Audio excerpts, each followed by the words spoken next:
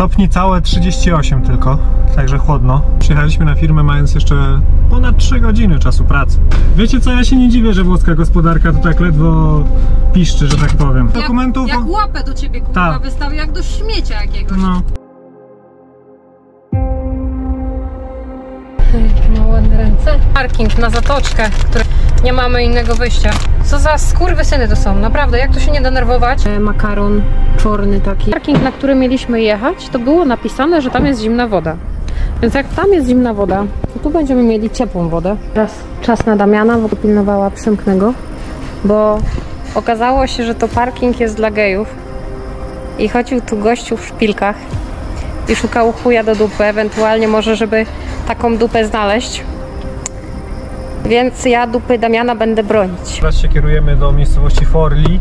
Jedziemy do tej firmy, gdzie nawyzywałam Włocha.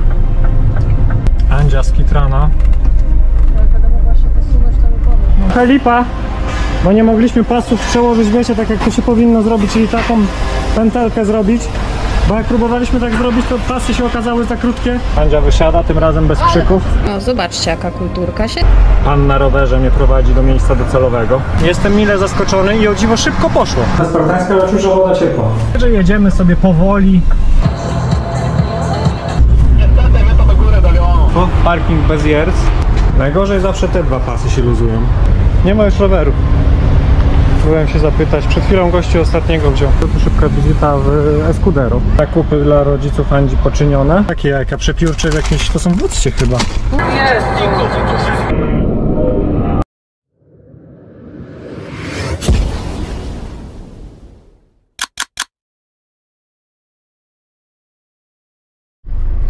Dzień dobry, upalny dzień w Leidzie. Całe 39 stopni, przez chwilę było 40.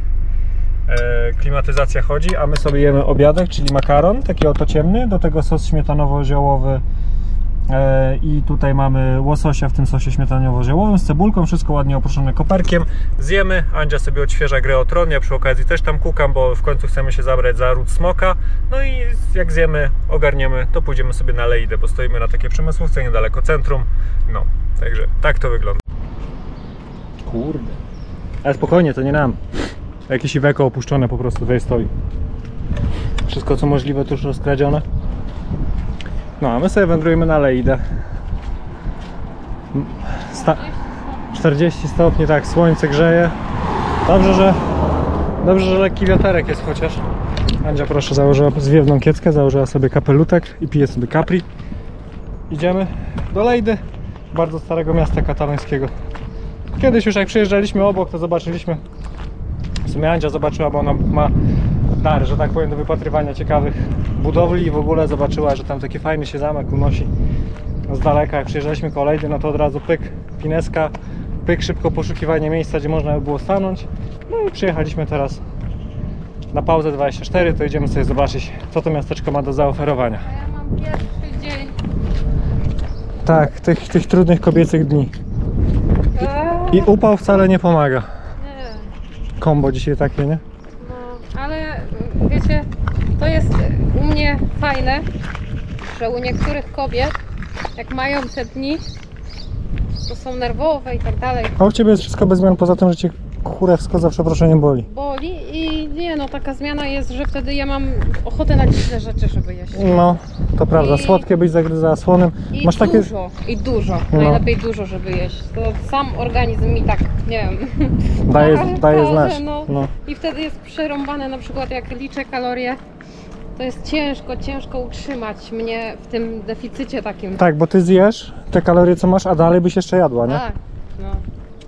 Przerąbane. Ogóle- Dobrze, że to nie jest cały miesiąc, tylko parę dni. No. Pierwsze dwa, trzy są najgorsze, nie? Tak, i przed. I przed, no. W ogóle, nie wiem czy widzieliście, sprzedam Ford Focus Sedan, bezwypadkowy. Co? Pierwszy właściciel. Gdzie? A, tam.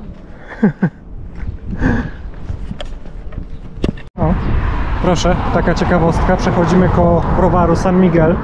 To wszystko tutaj, co widzicie, zobaczcie ile kegów, ale one puste są. Raczej pełne by tak na słońcu chyba nie stały.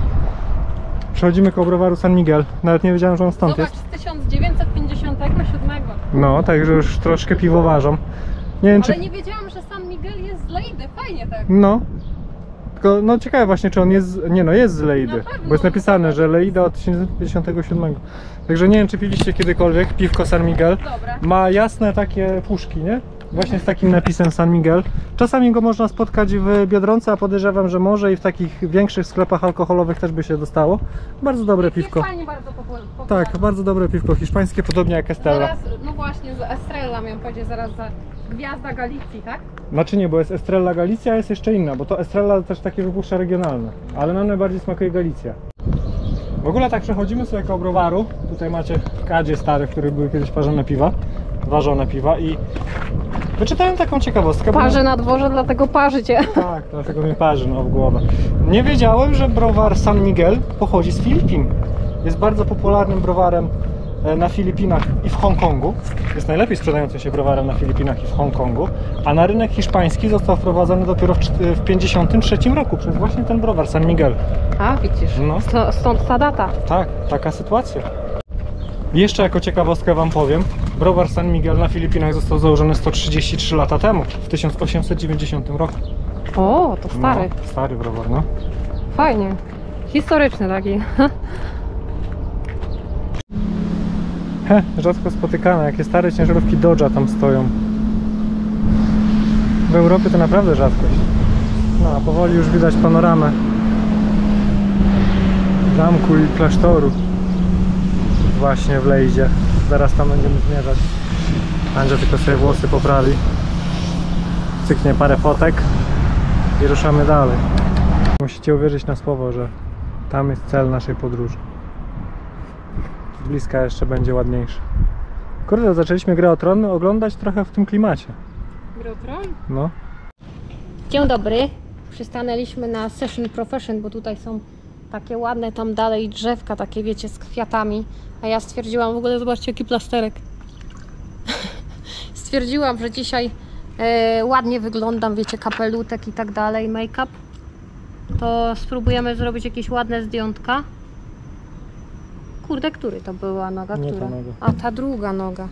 No i ten, i wzięłam sobie budki bardziej pod sesję niż pod chodzenie, no bo jak będziemy robić dużo kilometrów, to niestety, ale w obcasach, bo te buty są na koturnie, nie dam rady po prostu przejść tylu kilometrów, bo same trzy było do miasta, no a takie sobie budki wzięłam. Bardzo leciutkie są, ale wiem, że one po prostu obetrą i sama obecność koturna y, no nie pomoże. No, więc drepczę sobie po prostu w takich trekkingowych sandałkach, które też mnie niestety obtarły. Ja mam z tymi nogami taki problem. E, gdzieś tam parę osób się mnie pytało, dlaczego ja w adidasach nie chodzę. To właśnie dlatego, że się obcieram wszędzie i wszędzie mnie nogi bolą. Mam bardzo, bardzo paskudne stopy. Strasznie mi ciężko jest obuwie jakiekolwiek dobrać, bo się mocno obcieram. No. Jezus Mary, jakie ociśnięte. To dzisiaj czuję, że, że będzie tragedia, żeby wrócić. No. Nie? Po kąpieli ci najwyżej wodę naleję, to sobie pomoczysz może miejscu. Mm, tu ktoś mi bardzo ładne zdjęcia porobił. Fajnie, bo przy tej kietce tak widać dosyć ten tatuaż. Pegaza. W ogóle jak przechodziliśmy koło takiego sklepu ezotery- ezoterycznego, to widziałam pięknego, no może prawie pięknego, bo Zeza miał, No. ale Pegaza, który, y, na którym siedziała jakaś tam wróżka. Bardzo mi się to podobało. Ogólnie idziemy w stronę zameczku. Nawet nie wiemy, czy on jest otwarty, bo nic w mapach w ogóle nie ma na ten temat. Także idziemy całkowicie w ciemno i generalnie czekamy, aż zajdzie słońce, bo przecież to się kurwa żyć nie da. 40 stopni jest. Ludzi nie ma, każdy w chałupie pochowany, wiecie, klimatyzacja, te sprawy. Mhm. A dwóch nienormalnych idzie sobie pozwiedzać. Czekaj.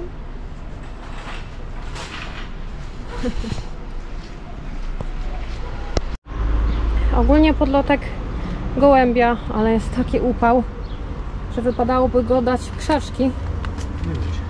O, o, prawie, prawie. Nie, nie, nie. Chodź. Chodź, chodź, chodź. chodź. O, dobra, poradził sobie. Daliśmy go po prostu tutaj, żeby miał cień. Bo tutaj, jak widzicie, ma taki fajny areał, gdzie jest cienia. A tutaj na tych schodach, A na betonie to na betonie, to by się biedny nie dość, że poparzył. To jeszcze, wiecie, zero, zero jakiejkolwiek ochłody, także No, Tak. troszkę się biega, bo widać się ruszają, dobra. No to dobrze. Będzie mu na pewno lżej trochę, nie? No bo aż miał dziób otwarty, nie? Tak, tak, dyszał, także. E, dobra, gdzie idziemy? Gdzie rodzice marnotrawni? No, gdzieś pewnie są. Tam, ale chodźcie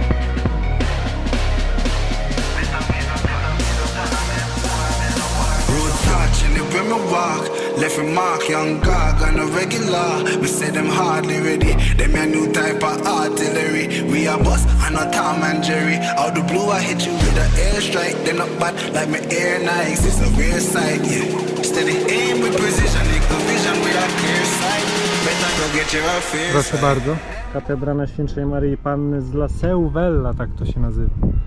Trochę burzliwą historię miała, bo po podbojach islamskich została przekształcona na meczet, później znowu jak zostały odzyskane te ziemie z powrotem przez Hiszpanów, to została przekształcona z powrotem w katedrę. Tak więc miała burzliwe historie. Jeszcze po drodze w międzyczasie została przemianowana na koszary wojskowe.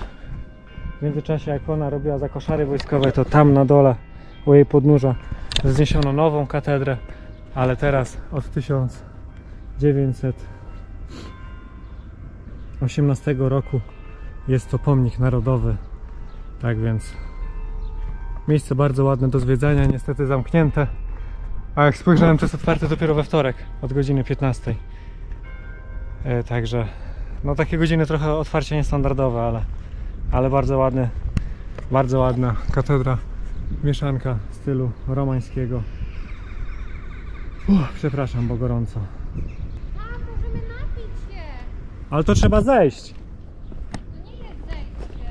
Tak trzeba wejść. Co ty gadasz? Proszę bardzo, ostatni rzut oka. Andzia próbuje jeszcze na siłę wejść. Zamknięte. Nie szarp się. Jedziemy sobie, tam jest restauracja otwarta, usiąść sobie wypić coś zimnego. A zacząłem wam mówić, ale kamerka mi się wyłączyła, bo się przegrzała. Sama katedra jest zaprojektowana w stylu przejściowym między gotyckim a romańskim. Zresztą w ogóle popatrzeć na te wszystkie misterne tutaj szczegóły, to jest po prostu ktoś miał anielską cierpliwość. A proszę bardzo. I niespotykaną w Hiszpanii precyzję do robienia czegoś takiego. Po spacerowaniu w takim upale takie oto drineczki się należą. Andzie ma wersję Bez, kokol, bez alkoholu. sin alkohol. Tak? Bo nie chciałam. Alkoholu. A u mnie klasyka. Whisky z kolą. Jeszcze dwie kole przyjdą, nie? No. Mm, ciepło.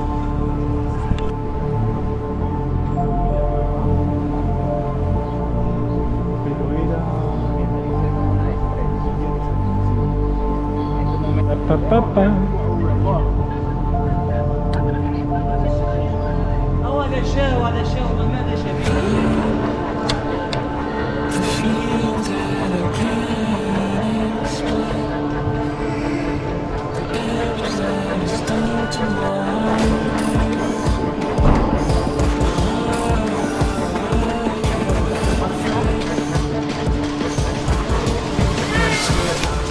Dobra, figurka zakupiona do kolekcji. I udało się dostać w końcu proszę bardzo, podusie Szukałam pluszową. takiej podusi w takim rozmiarze. Już od Gibraltaru, nie?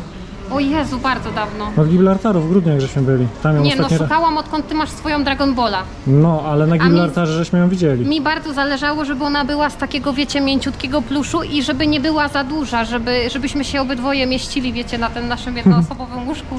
Dlatego tak, jest w końcu. Dobra, idziemy szukać magnesów, może będą. No.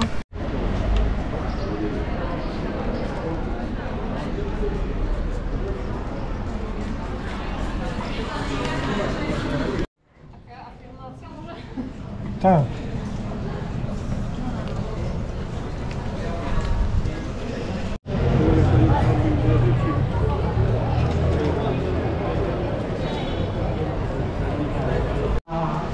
Zmierzamy powoli w stronę autka, ale zbłądziliśmy jeszcze do sklepu. Pokaż, ja pokażę, ja Pokażesz? pokażę. Zademonstrujesz? Tak, zademonstruję, wyciągnę. Zawsze się pytają ludzie, skąd my bierzemy takie rzeczy. No i bardzo często Z różnych właśnie, sklepów. Właśnie stąd.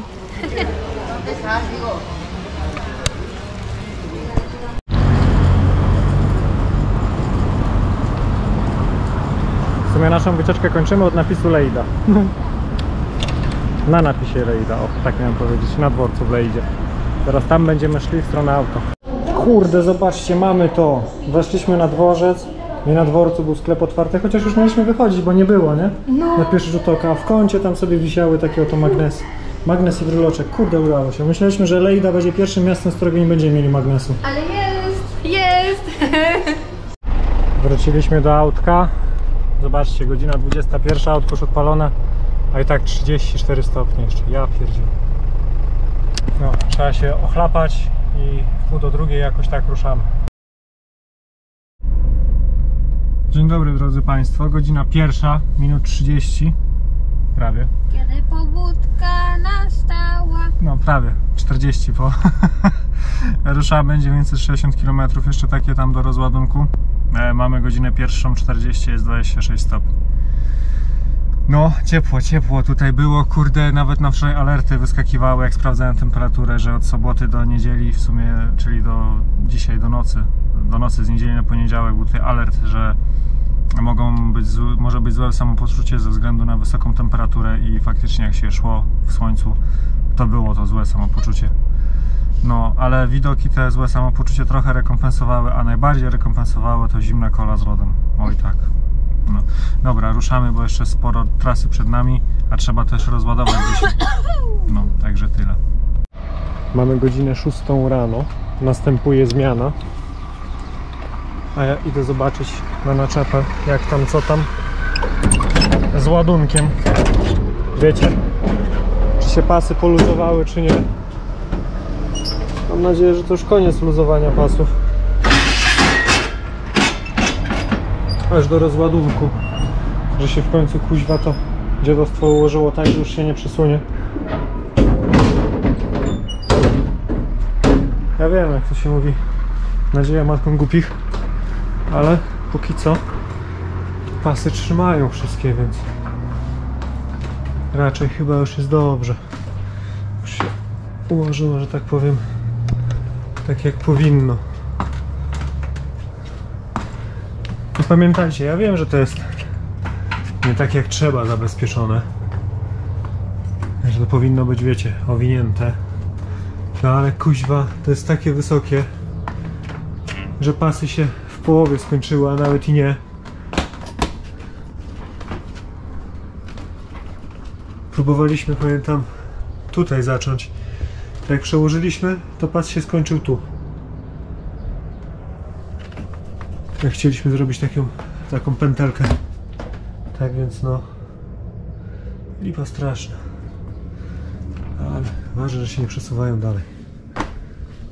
No, także delikatnie jeszcze nam 600 parę kilometrów zostało. Także będzie dobrze. Mam nadzieję tak. No to wiecie, drogi w Hiszpanii są różne. i różnie to może na nich być, ale powoli do celu dojedziemy. O, śmieci wyrzucę od razu. Kolejna zmiana, tym razem już widno. Idę zobaczyć po raz kolejny na naczepę, co tam się dzieje. Bo kurde, hiszpańskie drogi są takie, że masakra. Ale widzę, że chyba na szczęście nic złego się nie stało. Zaraz tam wejdę, zobaczę. A najpierw do toalety pójdziemy.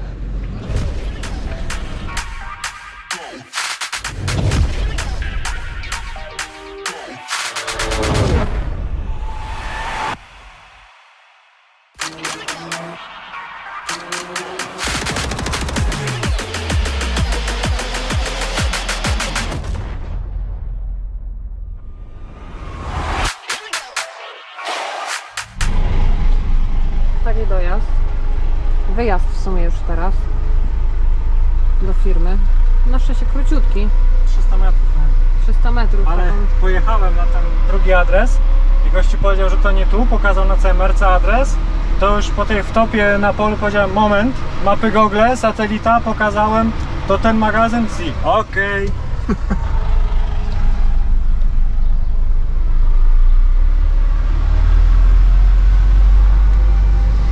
Na całe szczęście tylko kawalonka.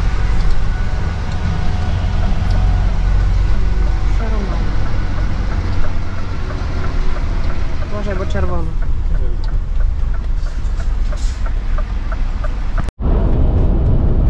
Dobra, poczyniliśmy zmiany, jesteśmy już w Portugaleiros, czyli w Portugalii. E, Z rozładunku na załadunek jakieś 160 km żeśmy mieli około. Ładujemy się w okolicach Porto i jedziemy bezpośrednio do Polski, do Nowej Wsi Wrocławskiej, z tego co dobrze pamiętam. Także nie wiem, czy jeszcze załadunek będzie dzisiaj, czy nie. Ogólnie e, datowo jest niby na jutro, ale możemy próbować dzisiaj. Także jedziemy pod firmę, zobaczymy w razie jak nie będzie załadunku dzisiaj. Tam można z tego co poczytałem szybko w opiniach stać. E, Także to będzie dobre, bo wiecie, my w Portugalii to zbytnio nie lubimy stać. Gdzieś, e, a wtedy staliśmy w okolicy portu przecież, nie? No, co nam e, dwa lata temu paliwo gwiz- gwiznęli. Jak to Andzia powiedziała, czujemy się trochę jakbyśmy do Afryki. Tu pa, na jakie narzędzia tortur na ścianie wiszą, ty. Gdzie? Nie widziałaś na domie? Były te e, takie owcęgi jakby, e, te nożyce takie do obcinania tego żywopłotu, jakieś różne te e, z takie wiertarki ręczne, tak jak mówię, narzędzia tortur, nie? Jakie Jezu, jaką montanę ma. Widziałeś? Masz mu się dynda. E, no, w ogóle Andzia się śmieje, że fajne klimaty, jakbyśmy do Afryki wjechali. Syfilis wszechobecny. Ogólnie no, zobaczcie jaka droga dojazdowa do firmy. Ale Busiusz ma fajną miejsce. A to portugalski busiarz. Nie to, że jakiś... ogóle jaki płotek. No. Krzaczki. Zaraz ogólnie będziemy na firmie. E, Śmie śmiać mi się chce, bo znaki dojazdowe, że jedziemy... Tak, a dżungla tam. No. A Las Palmas, Las ten, e, no, Paprotkas. W ogóle śmiać mi się chce, bo znaki, że dojeżdżamy do firmy, to zaczęły się dopiero jak No żeśmy... Jezu, widzisz jaką widzisz tą drogę? Widzę, widzę. E, Że... E, Tak, lekko w lewo będzie. Tak, ale mi chodzi o to, że czy może podnieść ją. Zobacz jaki tu jest. Jedź delikatnie, zaraz zobaczymy. Nie, raczej będzie ok, tylko powolutku, bo dziury są. Uff, Jakie dziury! Jaki rozpisał! Nie, jest ok, możesz jechać powoli. No. Masakra. A to dlatego były opinie, że dziury, że można uszkodzić auto. Patrz tu. No widzę, Ale widzę. że tam dalej i lepiej będzie. Jakieś kamienie. Spoko.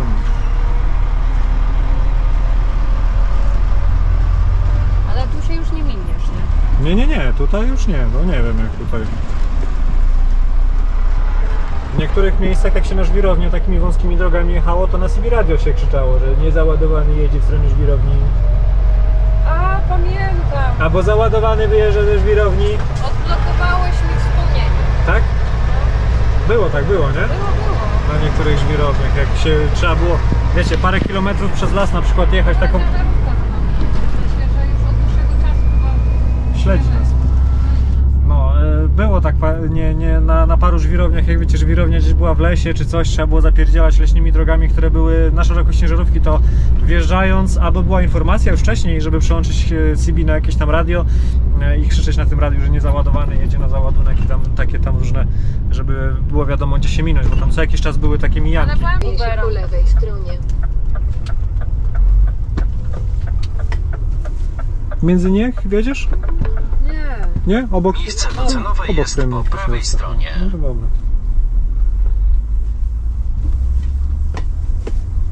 O. Maryjka jest, ale paliwo kuwa kradną. Z Bogiem, z Bogiem. Z Bogiem. Bóg zapłać. Dzięki Ci Boże za te dary. Kurwa, nie możemy tak. Hej Ty. Za, zaraz będą gadać, że my jesteśmy niewierzący i takie rzeczy Tak, mówimy. i się, no, i się naśmiewamy. prawdę kurwa, że mówimy, bo oni są bardzo wierzący, a złodzieje, Tak, jakich kurwa mało. no. Jeśli chodzi o paliwo, nie wiem jak Wszędzie, wszędzie, wszędzie auta pooklejane, jakieś święte te obrazki, Maryjki, Jezuski i w ogóle, a was paliwa cię wydoją do cna. I ciekawe co, jak tak spuszczą paliwo, to później do ołtarzyka, dzięki Ci Pa- Panie Boże, To... Tak, za te dary. za mówię te dary. I w niedzielę nam mszę, ta? Na tacę. No, tam wiesz procent jakiś, No, na pewno. dobra. Idę się zapytać. Jakie to jajowe ładne w ogóle, nie? Dobra, załadunek jednak jutro. Ale możemy stać na firmie i co Wam pokażę, zobaczcie, do dyspozycji automat z przekąskami, oczywiście płatnymi. E, tutaj automat z kawusią i nie tylko, z tego co widzę. Tutaj jest buda dla psa, piesio tam sobie leży. A zaraz Wam pokażę, zaraz Wam pokażę e, zaplecze socjalne. Zobaczcie, no drzwi ok, troszkę rozdupione. No i tutaj nie ma drzwi, żeby się zamknąć. Ale tak, są dwa kibelki, są prysznice, też dwa. Woda kurczę taka trochę letnia była. Nie wiem, sprawdzimy później, może będzie cieplejsza. I ogólnie to jest minusem to, że jak się kąpiesz, to wszystko kurde leci. Ale zaplecze socjalne jako takie jest. Trzeba to przyznać. No tylko, że tu mogły być drzwi. No, bo też nie da się zamknąć jakby. To też jest minus. A tutaj przesympatyczna psinka, trochę wstydliwa, bo nie chce przyjść do mnie. No chodź. Niby ogonkiem mrdasz, ale nie przyjdziesz, nie?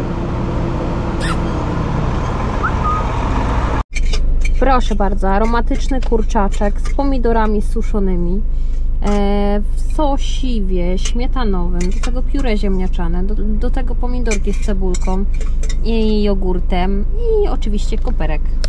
Taka dzisiejsza obiadokolacja.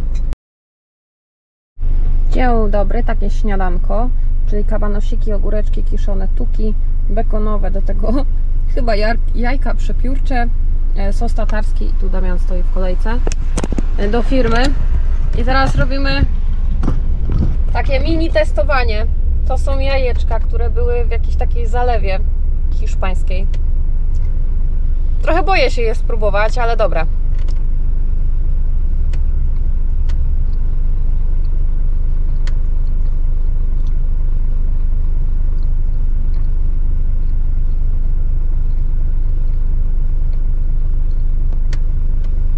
Normalne gotowane małe jajeczka. Mm, nic tu się. No. Normalne jajeczka. Dobre. Jak się coś nie odjebie, to ten transport po prostu nie byłby sobą. W ogóle nasze ładunki by nie były sobą przez ostatnie miesiące, jakby coś się nie tak miało nie być, nie? Tak, wiecie co? Przyszedł pan. Bardzo przepraszał z biura tutaj i powiedział, że naszego ładunku nie mają całego, że dzisiaj wieczorem dopiero przyjedzie reszta palet i dopiero będą mogli załadować ten ładunek e, jutro, jutro rano.